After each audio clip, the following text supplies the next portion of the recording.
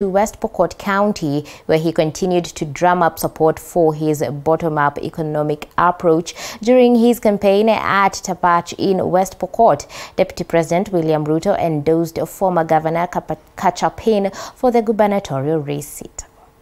Nimekuja hapa leo sawa sawa, ile serikali tuliunda 2013 serikali ingine tukaunda 2017.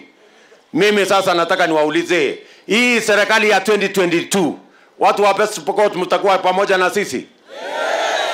Mi nataka niwaulize nyinyi, mumejipanga ama mnangoja kupangwa? Eh? Ati amupangwingwi? Ala, West Pokot mko chonjo kiasi hiyo? Ati mnasemaje? Asalala. Mimi nasimama hapa kuambia kuna watu wachache wameenda wakaketi Nairobi, ati wanajaribu kutupanga, ati wameenda kutafuta candidate kule Nairobi, ati wameenda kwa hoteli, ati kupanga nani atakuwa kiongozi wa Kenya.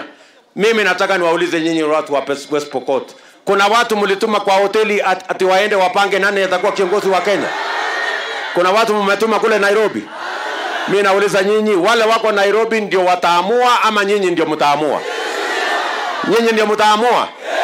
Sasa wale wako kwa hoteli kule Nairobi, ati wameenda kufanyia mtu mwingine interview, ati huyo mtu ati akuje hapa abadilishe katiba